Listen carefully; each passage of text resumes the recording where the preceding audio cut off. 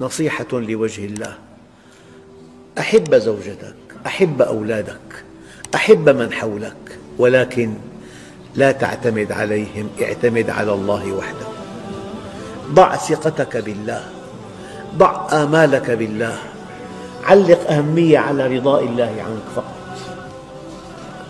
رجل له قريب مدير مكتب السلطان عبد الحميد. وافتقر فذهب إليه على نية أن يبحث له عن عمل كوظيفة. فاستقبله قريبه وأقام عنده مدة طويلة. يقول هذا القريب كلما وضع كتاب التعيين لا يوقعه السلطان لثلاثين يوما.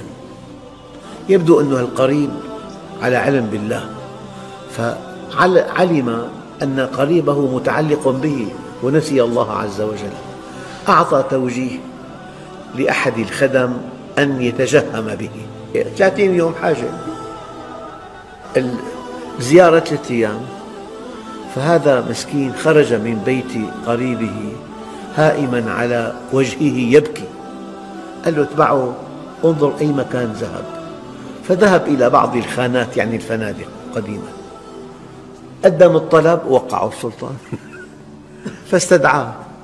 قال له ثلاثين يوم معتمد علي فلما خرجت من البيت مكسورا اعتمدت على الله فوقعت لك.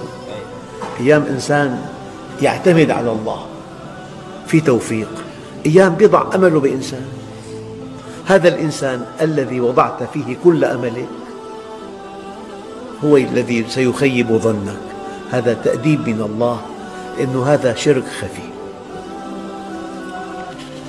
أيها الإخوة لا تسألن بني آدم حاجة وسل الذي أبوابه لا تغلق.